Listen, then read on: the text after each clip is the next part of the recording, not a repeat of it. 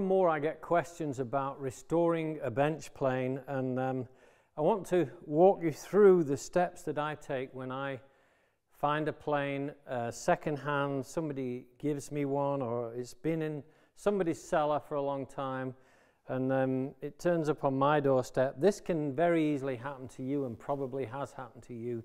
Some, uh, your granddad found a plane in the attic somewhere, brought it to you, and it's rusted all over, just like this one is. And you look at it and you think, "Ooh, this is is this any good? Can this still work?" Well, let me tell you, I haven't come across a Stanley plane or a record plane yet that couldn't be restored to full functionality and uh, and just work for another 50 years. Uh, so let me walk you through the steps that I look for when I'm working on a, a restoration project like this one. Um, I've got a couple here that I'm going to restore. This is my restored plane. It's in good shape now. It works perfectly well. But this one probably looked just like this one when it came to me. And I want to get through these initial steps so that you can start working with your plane just the same way I would. I want to look inside the plane make sure the frog is in the right position um, and things like that. In this case, the frog right inside the very depth of the throat, the throat. I want this aligning up with the sole just for now. I may change that shortly, but just now that's where I am. Uh, the handle's loose. It's got lots of faults with this. It's rusted. Can you see? This is rusted except where the plate was against the frog. Um, it's got some very severe chipping in the cutting iron. We'll have to deal with all of that. But initially what I want to do is make sure that the blade is resting on the frog thoroughly and, and at the right angle with no gaps. Then I'm going to lock this down and see if it locks. It's perfectly set. And the reason I want to do that is because when I start to work on this plane, that locking down affects the straightness or the flatness of the sole. So what I'm looking for here is I'm making sure the cutting iron doesn't protrude through here. From here on, the first step in this, I guess, is obvious. We want to de-rust, remove the rust. And um, usually, if this was this plane here, for instance, I might take this one, back out the iron, back it down into the throat, and then take this and put it straight onto my diamond plates and flatten the sole, clean up the side. I don't want to use my diamond plates to remove the rust. This is just an abrasive plate, coarse, fine, super fine. These are the ones that I use in the everyday of life.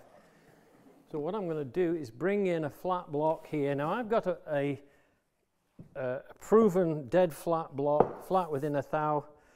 You may not have one of these and you can use plate glass, you could use MDF as long as it's close to perfectly flat, as close as you can get it.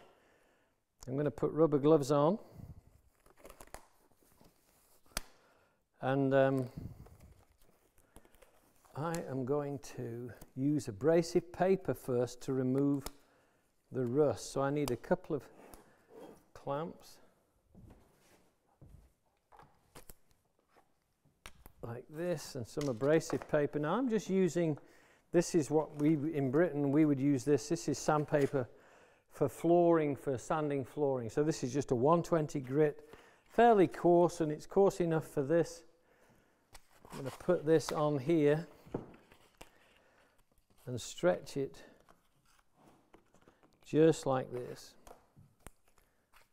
As much as I can stretch it, clip it on here, and I'm just going to uh, make sure the iron is backed out. I want to take this rust down. I also want to flatten the sole within reason. So here I'm set up. I'm looking at this. Can you see? This is not going to take much um, work, I don't think. You see already I've hit here and here. I'm hitting back here. It looks as though this is going to be in good shape. If I grip the handles and press too hard, I can flex the sole. So I'm kind of um, uh, spanning the whole plane and I'm just using the handle at the front but I'm not bending the plane. You can bend the plane so you have to watch for that. And the rust is coming down quite quickly. I think. Let's take another look. So this plane is actually in better condition than I thought. Can you see it's hollow here? That's not unusual. This is a plane that may have been used and it's got a slight angle to it. So when this is being used here, it's used this way on narrow pieces of wood, which shows the channel that was formed on the abrasive wood. So that's a good thing to notice. I'm trying, even though I've got my hands around here, I'm still really just pressing with the heel of my hand and the thumb, the, the thumb and the fingers down in the bottom around the handle, trying not to shape or reshape this plane. It's, it's there really. I don't have to, if I wanted to, I could stop there and leave this alone. The reason I'm using the abrasive paper is it gives me a fresh surface consistently. Don't let anything build up under here. It'll damage your surface. We'll do a little bit more. So this is just getting the rust down and in this case helping me to just flatten the sole and get rid of the rust really.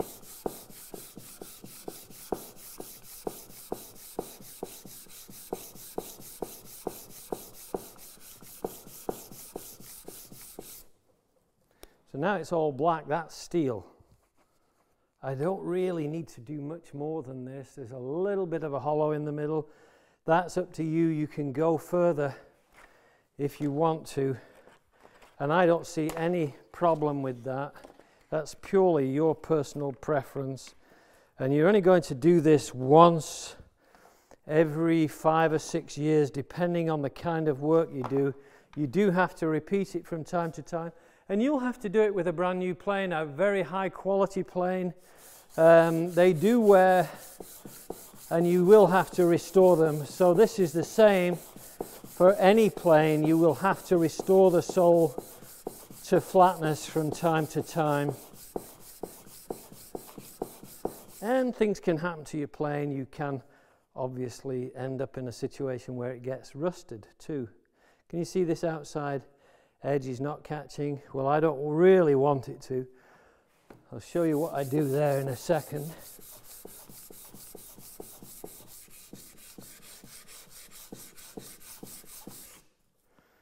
I think I'm down. Can you see that? That's perfectly adequate for planing. You don't have to do any more than that. The next step for me with this is I'm going to elevate this side of the plane. This is a little bit thicker than the paper. So I'm just going to run my plane elevated on this side like this, which is going to put a bevel on the outside edge of the plane. I don't think you can really see it. I can see it, but I don't think you'll be able to. Maybe if I ran some stripes across, this will help. Maybe. Well, let's put this back on.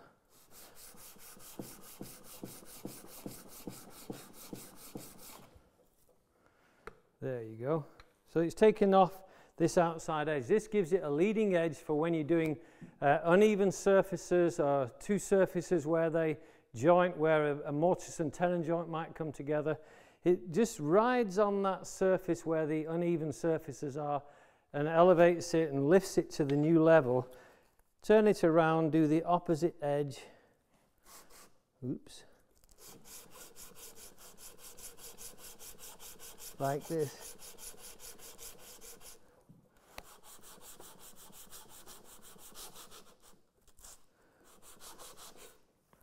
Not working too well that way.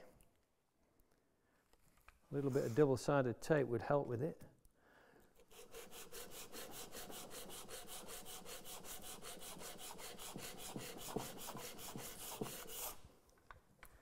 That's the outside edge done on that one. The next stage for this is going to be to do the sides. These sides need to be cleaned up Now then, this is, begs a question that I've been asked often enough about, and that is, um, how do I get the sides of my plane square because I want to use it on a shooting board? Well, you don't have to have the sides square. They don't have even to be nearly square.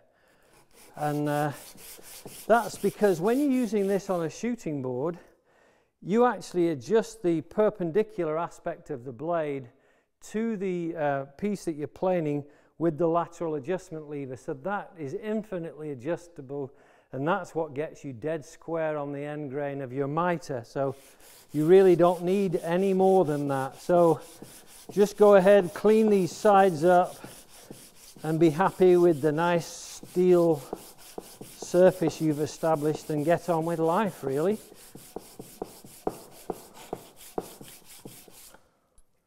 So we're getting this down a little bit more here and here, but not much.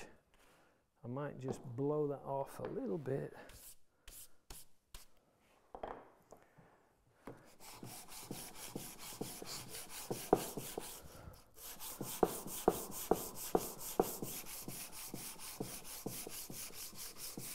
So I've removed the rust on this side.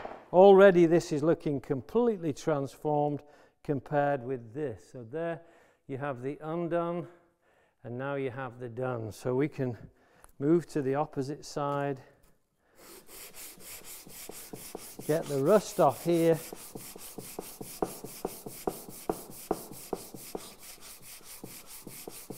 Like this.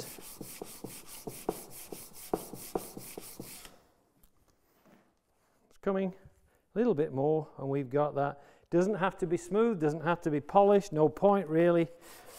And uh, but it's all down to a matter of personal preference. It's what you want for your plane.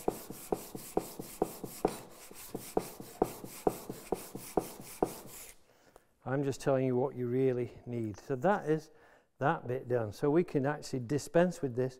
There's one thing I want to get is these long corners. Now you could take a file like this, just a flat file, and take the corners off like this at 45 degrees. And then you can take off the hard arrises that way. Then you can go back on here, start from the low position, and just round those corners. This makes such a difference to the functionality of the plane. Same on this one, just take the corners off with the flat file. One continuous stroke after the other from one end to the other will make it nice and even. Now I'm changing the pitch on the, on the file to round that corner and I go the same again. So start here and round those corners just like that. One last level of abrading on that. Just use some 240 grit in this case here. Just sandpaper, any abrasive paper works. Just use your fingers. That will round that corner. And that's my initializing of the sole of the plane. So this is now ready for work. This part of the plane is ready for work. If I want to, I can take out the midsection. If there was a slight lower section there, my fingers will press into it just to clean up the surface, but that's all I need for this, this plane to function perfectly. So that's that bit. Now then, there's another phase I want to take you through, and that will be this fore part of the plane. This is hard, this corner is hard. On some planes, it's not.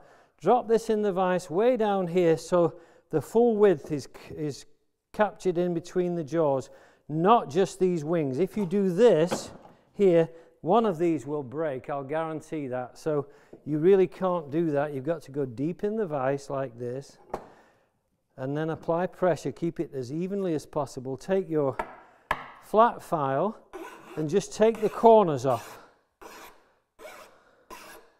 with three or four strokes just like that here I've got a hard corner, I take it off and sweep round, sweep round.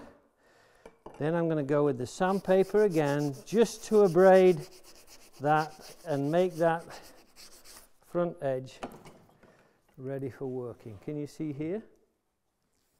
So this now is no longer angular and square.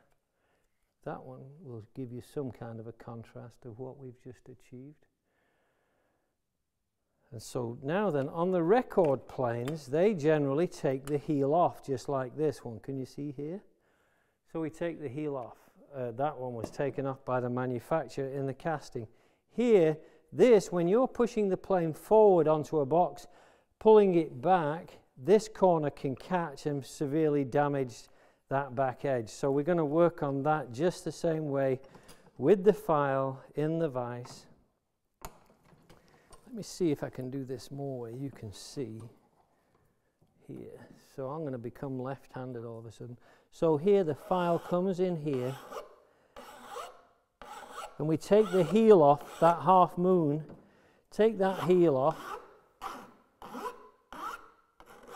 just like that,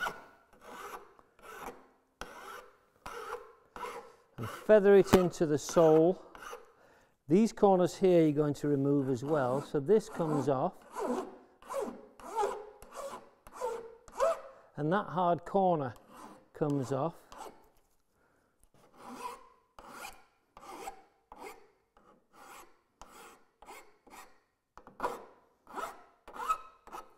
And then again with the sandpaper, any abrasive paper will work, wet and dry. Around 240 grit will get this just fine, that's all it needs. Remove the hard corners. And that plane is ready. This sole is completely ready now. That, I don't have to do any more to this sole unless I want to polish it further. Next, we're going to take the plane apart. We're going to look inside this plane and look at the frog because the frog has to, usually anyway, has to have some work done to it. We'll take a look at that now. We're going to get right inside here now. We're going to forget the rust just for a, a little while we do have to deal with the rust. But what we're going to look at now is the frog. This is probably not as important as a lot of people would have you believe. The frog isn't really very uh, adjusted very often, but there are aspects to it that we need to address. So I'm withdrawing this frog. This is just a chunk of cast iron that sits inside and makes the, this, the um, adjustment of the uh, plane the cutting edge to the forepart of the sole, either wider or closing it down. We don't use it very often. Some people might, but I certainly haven't found it um, something I go to use very often. Can you see this handle here has shrunk? This is as tight as it gets.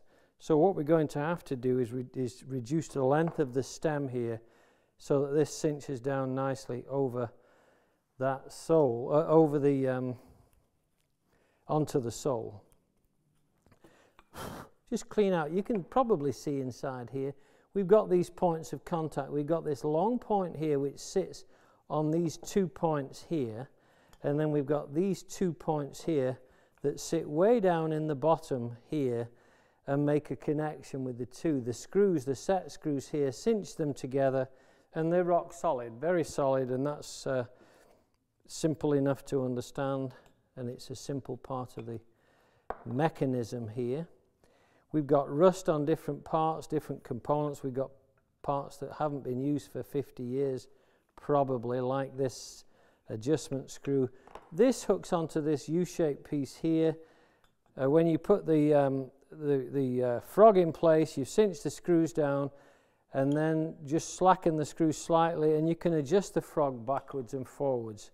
I'll show you how that works soon. But here is the point. The point of contact we've got to get to is going to be right on this area here and right on this area here.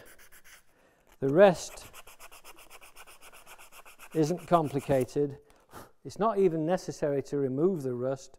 You can see there wasn't much build-up on that throughout the life of its neglect here. So now this is sitting inside there one part that I'm really focusing on is I want to get this surface fairly flat. It doesn't have to be dead flat, but fairly flat and I do that on the plate on the block here just by rubbing this across the surface. I'm a bit hampered. I could take this out, but it's not necessary. So I'm just sliding this up to that protruding rectangle there and moving this back and forth here on here, applying even pressure. I can hear a harmonic, that's telling me that we're close to flat. Perfectly happy. That's really about as, as flat as I need to get. Got a little bit of hollow here. But actually, when you apply pressure with the lever cam, the whole of the plate of the cutting iron and the cap iron is all pressed against this frog and it takes up any slack, any gaps between any of the components. So there I've got that. I'm just going to catch this outer area here and here, offer this on here. And the reason I'm doing this is because this area needs to be oiled and the, um, the whole cutting iron assembly swivels on this surface. And uh, so I'm making sure that no rust is going to hinder that swiveling. So I've got that already. See, cast iron doesn't take very long to get down to raw material. That's basically it for that. I can put this away. The rest is derusting. I'm going to derust the cutting iron. I'm going to derust the cap iron and initiate those or initialize those. Uh, work on these. Uh, I'm going to work on the handles, but first of all, let me leave you while I just take the rust off the remaining components. That's just a question of using any abrasive paper and taking the rust off just like this. If you work along the grain of the steel, usually that's going to be along the long axis of everything. So here, along here where you can, it didn't matter on this case. Uh, on this, I would be sanding this along here and I'll show you some other aspects of initializing those as we progress through this. But I'm just going to take all of the rust off just using abrasive paper now and I'll get back to you shortly.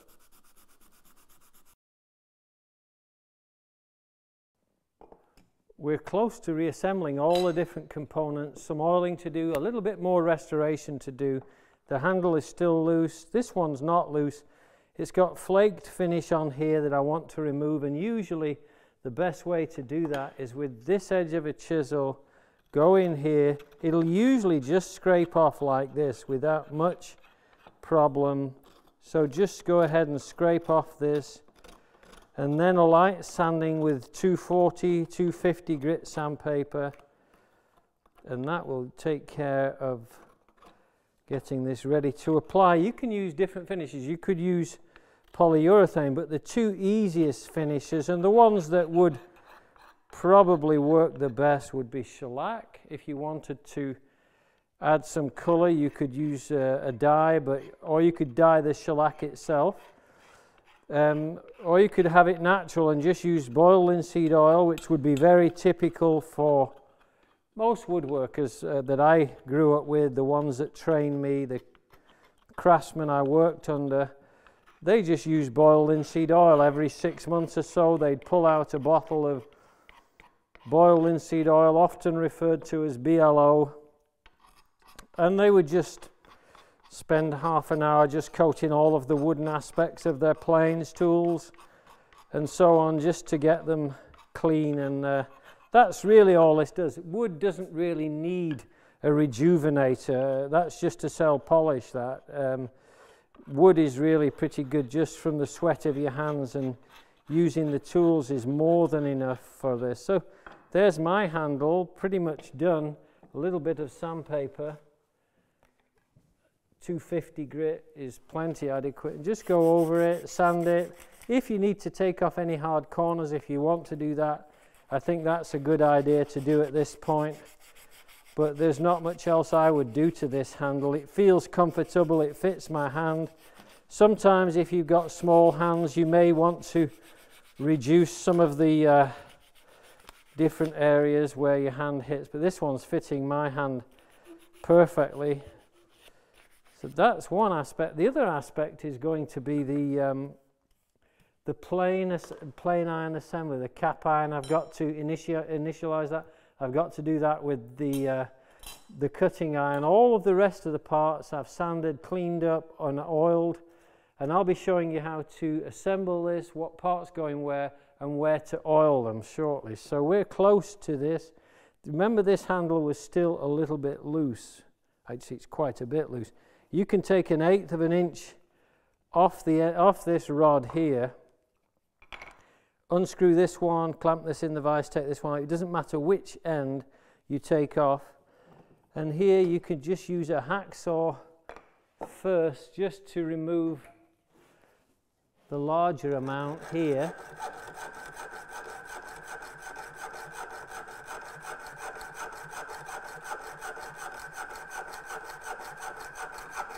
And as soon as you've got that down, just try it and see how it, how it fits. Take the flat file, take off the corners here, just to give it the leading edge into the recess to start on the threads.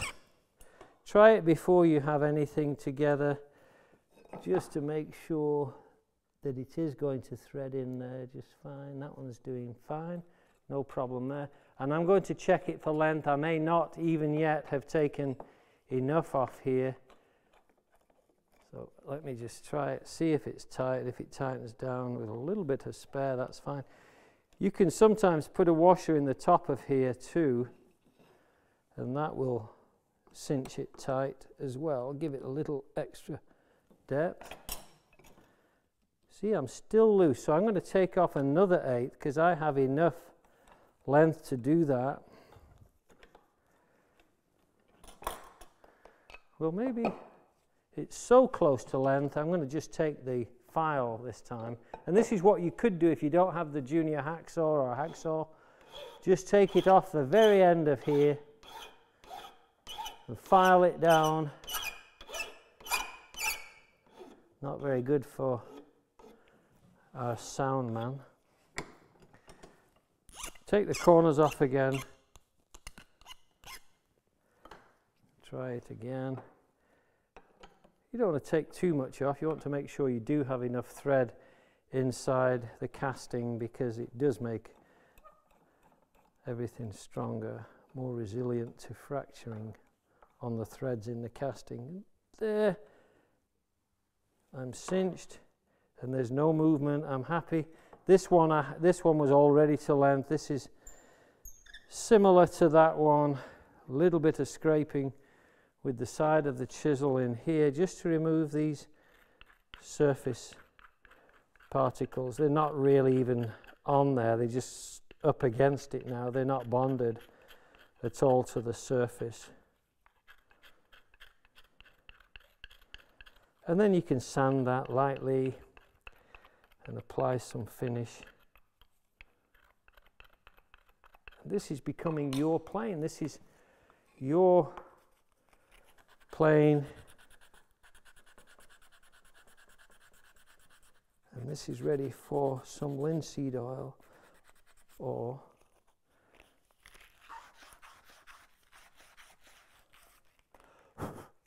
this one's feeling smooth on the top. This has got the sweat of a man 50 years using this plane, maybe 30 years, whatever, long enough for me to feel pretty good about the, the man that owned it. He died probably and it just got left. So let's take a look at some of the finishes. I'm just going to put some linseed, uh, some uh, shellac on here. Just a little drop in here. I've got some colouring in this one, which will work fine for what I'm doing. Doesn't take very much here. Just just go around the base first here like this. Very simple. Leave the rest and then go to the top on here. This is just giving it some color and a little bit of finish. Leave that for a second. Let's go to the big handle here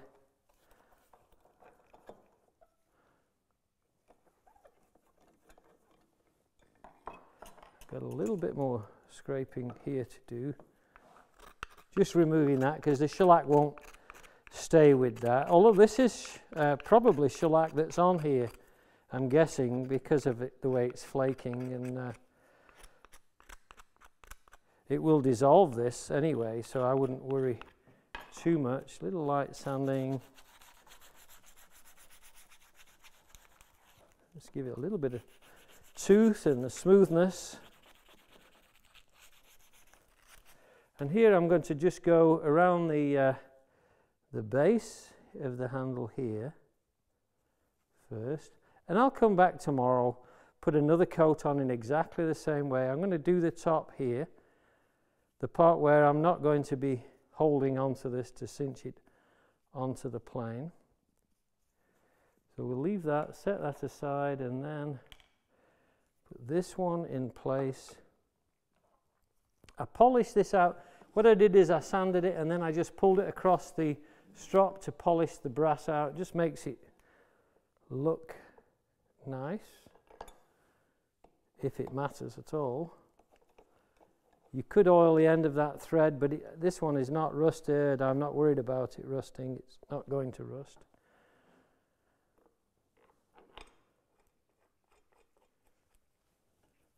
Already this is looking like my plane. It feels like my plane, all of, taking all these edges, see this? I took all these, this top off here, sanded it, made them slightly rounded. Now it's feeling just like my old plane, the one I've had for 50 years.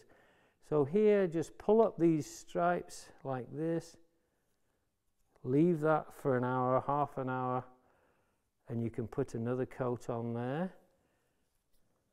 Here, you can go across the grain, don't worry about it. Right into those areas that you did a few minutes ago, just like this. Leave that for an hour and build up the coats with shellac. Three coats should make that beautiful. I'm going to leave that just for a second. And while that's drying, I'm going to go to the uh, plane iron and look at that. So let's take a look at the plane iron now. I just want to show you what we're aiming for. This is what we're aiming for. This is an, uh, a, an iron that's been prepared for loading in a plane. This is what we got back. We bought this plane second hand. It's got one, two, three very deep nicks in there. What do you do to get rid of those? You can grind them on a grinder if you have one. If you don't have one, I would just go very quickly to the um, abrasive paper. I probably wouldn't go to my diamond plates at this stage because abrasive paper in this case will hog off a lot in a little time. I'm also going to go, because this is so bad, I'm going to go to a honing guide just to uh, get my angle dead on. And I know that on my plane iron it has to be two inches from the underside of the carriage to get the angle at 25. This is governed by the fixed height from here to here, so I have to go that way.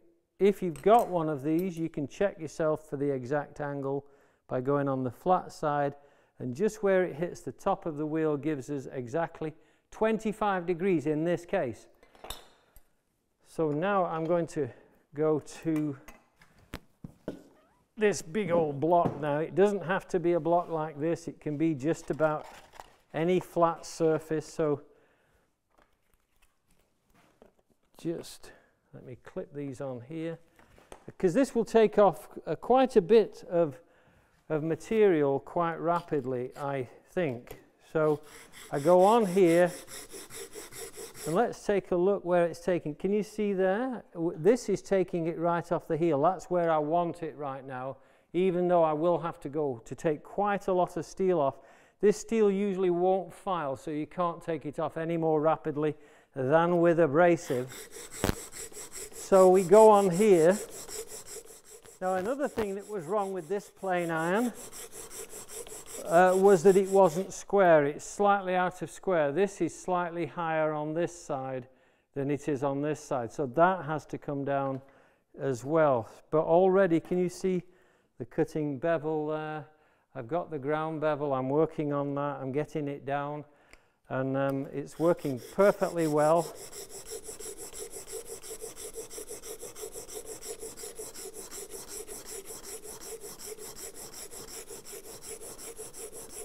Just keep going, it's tedious.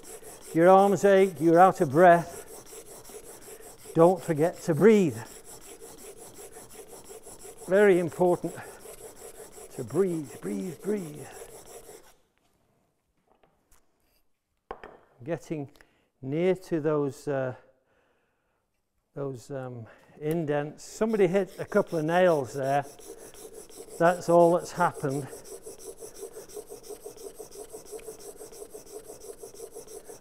Use the whole width of your paper be prepared to move along. I'm going to move along to some fresh, fresh grit here.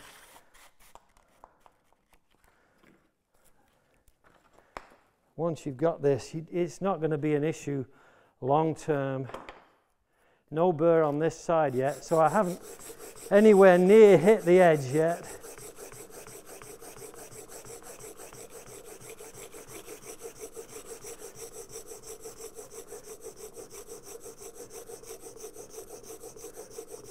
This is 120 grit. You can turn it around and work it this way to get maximum use out of your paper. Just keep going, keep going.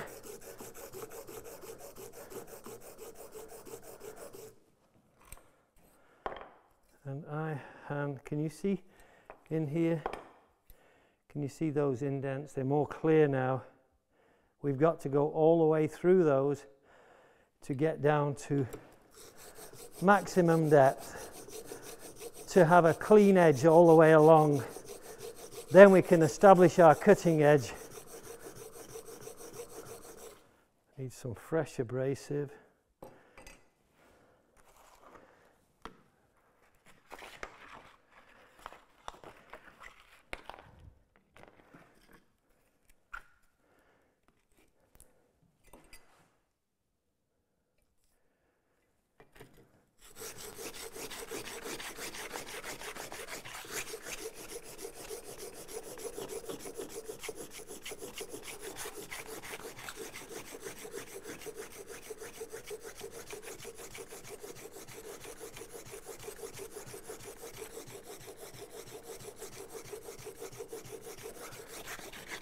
This is tough on an old man. All right. These are very clear now, right on those on that edge. Uh, you've got these indents. They've just got to come out, and you can grind them, like I said. But I am so close to getting this. I'm going to change my paper out.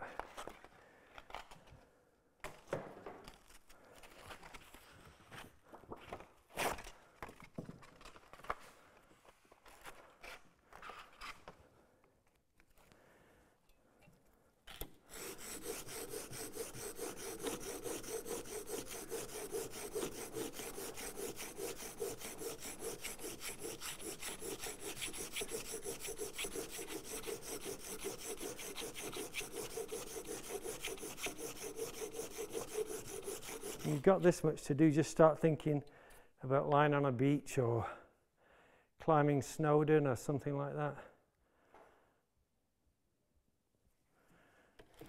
It does get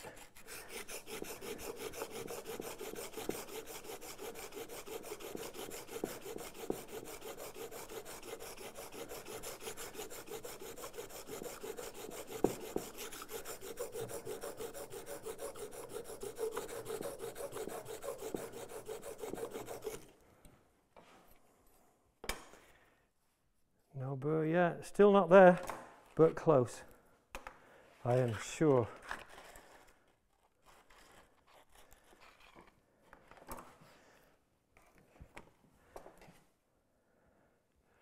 Am I square? That's the thing.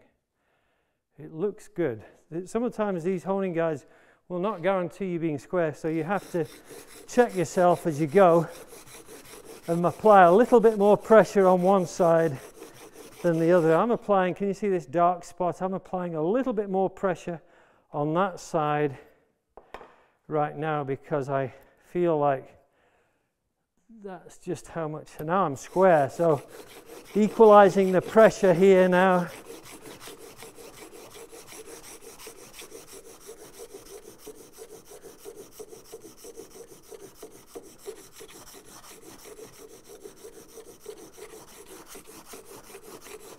Keep going, don't give up. Still not a burr, not a full burr, it's, it's getting there. I keep saying that.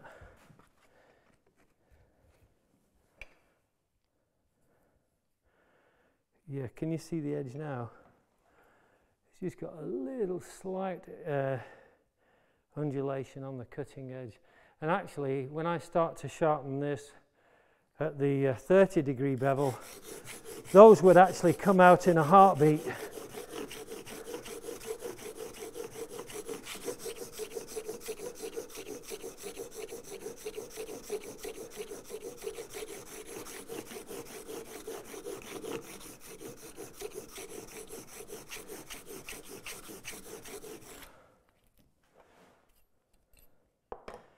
and they are gone. So Let's go to our stones now and see what we have to do to the back face as well. Something I'm going to do now before I actually get a sharp edge. See all these edges here? These will be uh, stamped out so they'll be rough. They're not usually very well finished. So before I do any more on the cutting edge, I'm going to put this in the vise here and just take that flat file and I'm going to come along here, just draw file this edge out until I've taken off all the rust, but that's not the goal. Can you see here? It skips here. That's because this is hardened steel, it won't file. You don't want to ruin your file on this area here. So just let it grind over the top, but here is where it starts to bite. Once you've got that, just take the corner off with one stroke. Take this corner off with one stroke. This last bit here on the bevel here, like this. Gets this corner and then bring this up in a continuous sweep just to get it close to remove the corners again like that onto the top. It, this looks so nice when you've done this to the plane iron. And taking the corners off makes the plane iron feel so comfortable in your hand Oh, it's so nice to do this. The edge looks totally different. I'll show you in a second.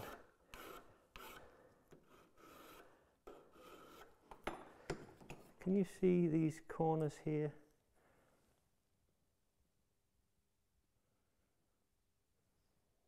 They look great. And it feels good.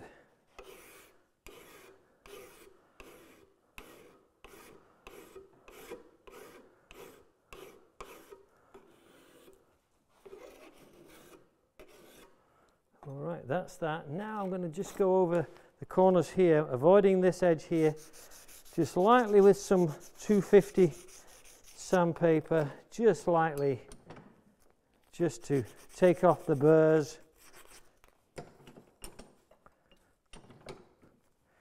This gets rid of all the rust and makes it feel just as though it's your blade cared for. So that's that. Now we're going to go back to the sharpening aspect of this. We don't have any more to do to this. Into the vise. And a little bit of spray. Just to rework some of this. Now this is where I'm feeling, so this is 25 degrees, so I keep it at 25, then I lift up just slightly to get my initial 30 degrees and then I drop my hand onto the heel lift up to 30 and keep dropping back. You can use long oval strokes, you can use long straight strokes. This is the comfort of my body. It's not some magical angle. It doesn't really matter what that angle is. It just aligns my body up with it. So I have a burr on this back edge now. So I'm close here. I lift up here, one eighth off it. This is initializing your plane iron. Now this plane iron, I can already tell has got some really good hard steel in it. I'm very happy with the resistance I feel in this. So I've taken the corner off here, lift up on the other side about four or five mil, then drop, drop, drop. After you've taken 10 or 15 strokes, start dropping the hand down back to that cutting edge. Go on to this, do exactly the same. You start at 25 here, lift up just a hair till the water pushes out from underneath, and then move it back and forth, catching the whole of the bevel. Work on the heel more than the cutting edge to keep that in check, stop it from encroaching on the cutting edge and causing you to have to lift up more than you need to. I've got a very nice burr established here now. Same again on this 1200 grit. So I've gone from the 250 to the 600 and now I'm on the 1200 lifting up the corners, lifting up the other corner and then I have to look at this flat face here to see where it is. You can do this either way. You can either do the flat face first or you can do the bevel first. It's safer probably to do the flat face first. Just let me take a look on this face on the coarse stone just to see how flat it is. A few strokes like this. I've got a belly in the middle. Can you see that? perfect example of what do you do when you've got this belly in the middle. Instead of spending half an hour flattening this, which it will take, you take a nylon faced hammer on a bench top like this that will have some resistance and you strike this right in the middle of that belly like this. Are you ready? So I've got this nice and secure like this, like this. And then you can put the marks back on and see what you have done if you have done anything. And you can repeat that as many times. You can use a steel faced hammer if you aren't uh, achieving exactly what you want, but it is, it does work, it's very effective. So here we go back on and press a few strokes. Let's see what we've got. Can you see it didn't even hit the center now? So now we're at this edge, and here, can you see we created a dimple in there? Perfect example of a practical approach to straightening out the back of your iron. You could strike from this face with a lesser blow and take out that hollow, but I'm going to go because it's exactly what I want for this iron. So it's a perfect example that I dreamed up some years ago now, can you see it? We still have a hollow in here, but we're getting close to this edge. We've not reached this edge yet. That's because somebody has pulled this on a, on a belt sander and rounded this face a little bit. So, but I'm not worried because, uh, let's have a look here. Can you see? I'm up to the edge here. I've almost got there. I don't have to get this flat at all. I like the hollow. It works perfectly well all I need to get is somewhere around 6 to 10 millimeters from the cutting edge to here, and I'm on my way to a perfect edge. This is my initiation, and uh, it's so simple. I don't know why we didn't think of it before. Can you see it now? We're nearly there. Bit more water here and here. So now I should be all the way up to the edge. I am. So I can go on this uh, medium stone here. Do the same. on here.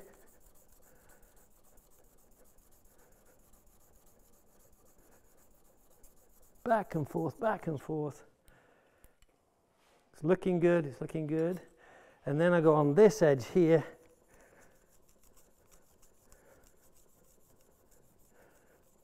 Polish out the whole of the back face. So I have got enough there. That's plenty of metal, clear metal, all the way up to the cutting edge. So what I need to do now is replace the board. So what I've done is replace the, the diamonds now with the uh, buffing compound on the surface of a flat board. As long as it's close to flat, polish this face out. Like this. And that is giving me a polished face sufficient for this cutting iron. It's perfect. It, it's exactly where I need it. And then I'm going to work on the bevel now. This is what's really going to polish this whole thing out, the whole bevel here. Keep working this, keep working it. 30, 40 times, 50 times, all your upper body going down to these cut, this cutting edge. Now I'm working on the corners. Each corner gets 15 to 20 strokes. And now my bevel is established. That is my pristine cutting edge. I'm out of breath, but now I can work on the cap iron and get that ready. Very close to reassembling this plane. Now I've got the uh, cutting iron done. I'm just cleaning up the edges of the cap iron just to get it uh, initialized. Break the edges, I file them. This just makes it so much more comfortable when you're using the plane. You've got all these parts have to swivel together, swivel against one another. So this one's almost ready. ready. This one now has to have a little bit of a, right on this leading edge here, we've got to get that together. How we do that, just take just a rough stone, place the cap, the cap iron on here and push it back and forth on here, flip it over and right in this area here I can still see a darkness right in that midsection. Here it's shiny, here it's shiny, which means that that's hollow inside there. When I'm pushing the plane into the wood, the leading edge of the shaving can go in there and jam inside. So I keep going on here until I get a shine all the way up to the leading edge. And I have that now. So I've got a shine all the way up to the leading edge. What I'm going to do now is flip this around.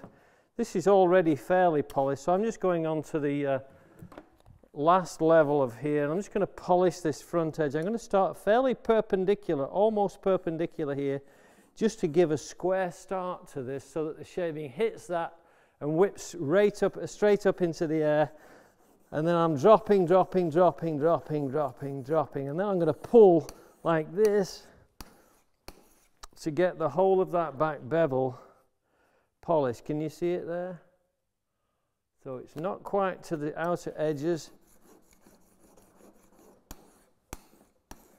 That just polishes that and the shavings hit that. It's not anything more than just one of those little additional steps that you take with your tools to polish them up and get them ready. This is just the strop just on the leading edge of that uh, bulbous area. That hump that goes along the back. Now it's polished out.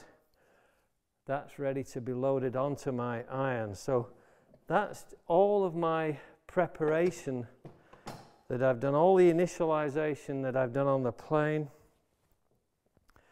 I've got the handle to finish out. I've just uh, got to use some steel wool on here. And as I'm polishing this, you can see around, excuse me, here I'm just taking off some of the harshness from the shellac, just cleaning up a little bit. I polished these out and I'm polishing this. I just took my strop and I took some of the components like this and I just pulled them on the strop on the soft leather and that polished out the brass, it polished out the steel, got everything clean um, ready for installation. So here I've got this one to do. Just wrap that with 4 steel wool just to take off the harshness. It's already nice and smooth. And then I just add a little bit of steel wool in my polish like this and just wax this. Just wax it all over, just a furniture polish wax polish, soft wax polish, and that will be enough for about two years. Probably will not have to touch this again for a couple of years, and now from here on, periodically, I just have to touch that up with some wax and it will be restored, clean, nice to use. This feels so like my old plane. It feels like I've used this now for 50 years, which is exactly what I wanted. The other thing you should consider is either waxing the whole of the plane or as I would in this case, I would just use this. This is just a rag stuffed into a tomato can, rolled up very neatly to get it nice and even, protruding past the top of the can by half an inch, loaded with 3-in-1 oil periodically, and then every so often I just go over all the new parts of the metal like this just to oil the surface without any excess of oil. And this stops it from rusting. My planes really never rust. And I would do that on all of these components now. so what I do on all of the faces, I will go over here, go over the edges, make sure you coat these just to make them protected really. Inside here I would do definitely. This really hasn't rusted very much even before. The surface rust wasn't very deep. And then we're going to oil. That was an old blade. This one came up nicely. You can hear that. So these need oil. So this is where we, every moving part gets a drop of oil. So little drop in here, let it soak in and then wipe it. Oil on there and oil on this cam here so that it operates smoothly. Wipe off with a rag, keep it. You don't want too much oil on here. So that's ready to go. Oil on this screw here. This is the retaining screw that sits in the frog. So this goes in here. All the way in like this and then back it out so that the whole of the thread is oiled. We'll be adjusting that soon. We want oil on this surface here because the iron, when it's resting on here this way, is going to be swiveling on the whole of this bed of the frog here. So wipe that out, get that clean. This uh, yoke here is going to be moving back and forth. So one drop of oil on the bar in here, like this. That's all it needs, no more. This needs to move fairly freely here. Some will already be very loose, but just a drop of oil here. And then move it back and forth a couple of times just to get the oil inside there. And over the next few months, this will ease up. It's already getting easier now. This plane was not used very much uh, oil on the rod there. That's going to go on here. So I usually put this on here. It's a reverse thread, remember. And then a drop of oil right inside this thread here. So now can you see the yoke has to go in at the same time this advances here. See this? So let that drop into there. Then that's a little bit stiff. but it's going to go loose. It's not, it's not super loose. This will start to spin now, and that's what I want. So this is, I've already cleaned the threads out with a wire brush. This is spinning now. Can you see that? So it's spinning to take up the slack. Wipe off the excess. So this is now ready to go onto the plane. A drop of oil on the retaining set screws here onto the washer. This can go into the hole here. That'd be better without rubber gloves on probably. Drop of oil on here. Just let that oil soak in for a minute. This is the adjustment screw for the frog. This one goes right in the back of here. This is where this will seat on here afterwards to move it back and forth along the body of the plane. So I'm going to put this into here. Screw it about halfway down the thread. Then drop the frog right onto there. Right inside here there's a U. That U goes into that slot in the screw thread there, like that. Inside here there's a big gap between the forepart, can you see there? So when this is in, there's a big gap between here and the frog. This um, mechanism here, this screw moves that forward in there and lines it up. So we'll see a bit more in there in a minute. So now I'm roughly in position. I can put the set screws in here. Just turn them down, just uh, cinch them but not tight, like this like that. Now, just so the frog is fully seated down, so this is now feeling good. Can you see, I have a, a point of a pencil right in here. There's a little step between the uh, between the frog and the forepart or the forepart of the rear part of the sole There's a little step. I don't want a step there particularly, so now I can adjust this set screw under here and that moves it forward. So now it's almost flush and I'm going to have it almost flush but not quite flush. And I'm going to tighten these screws up like this here.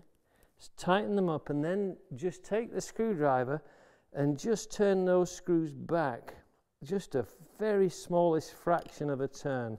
That releases the pressure on the frog. And that means that once the blade is loaded and you have everything cinched down, you can move the frog back and forth without taking the, the iron out. So now this will actually move backwards. Can you see inside there?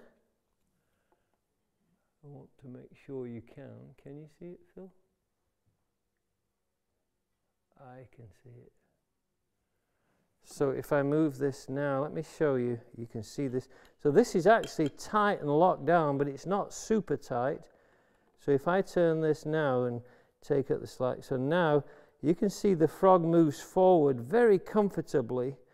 So I can always adjust the frog without taking the blade out at all or slackening anything off. So that's a fact. That's how I grew up. That's what I was taught as a boy, and I've done it all through my 50 years of woodworking. This little screw goes in here. Turn it half a, half a turn. So we're ready to load this at last here. So I've got this in one hand. Watch this. I've got my blade in this hand.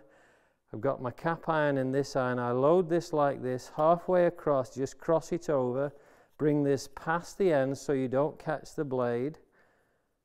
Slacken the screw till it swivels around and then inch it up to the end here and you want to be about three, two, two to three millimeters, no more than three, I would say, from the end.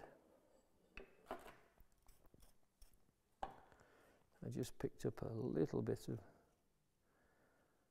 filings then from the filing I've been doing. Cinch that, make sure it aligns cinch everything tight. So now we're ready to put this into the plane body so it drops down into the throat without catching any metal. And then I pull this up. Can you see there's a little rectangular hole here?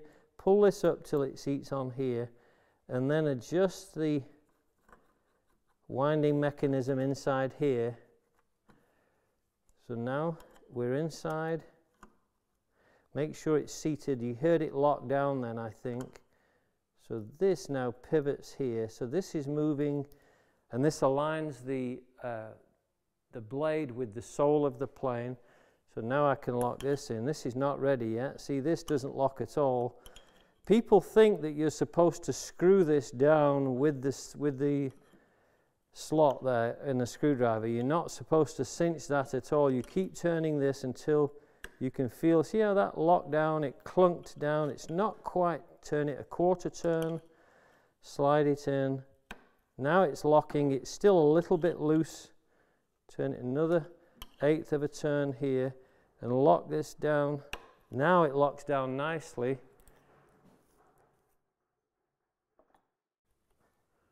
So I'm going to back the iron off here now. It locked down perfectly. This plane feels so nice. I'm even tempted now. Take off my rubber gloves, find a clean rag, wipe it down all over and we can look at some of the details now. We can come in closer.